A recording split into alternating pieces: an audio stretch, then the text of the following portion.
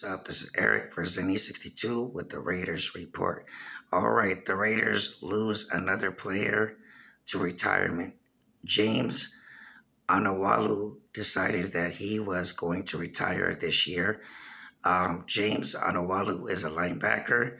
He played two games last year with the Raiders on special teams. Um, he had a lot of injuries throughout his career. Um, he, he wasn't with the Raiders for that long, long, but nonetheless, he was a Raider.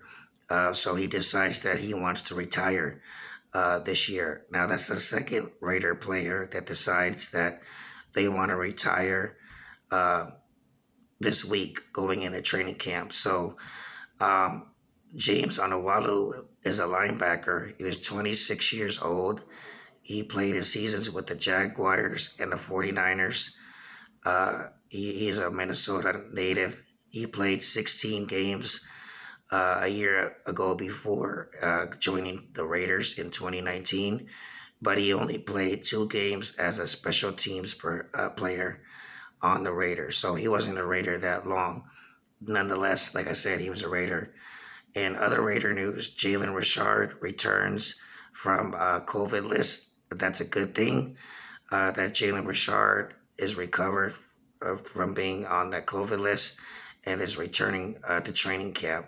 So that's a good sign for the Raiders, okay?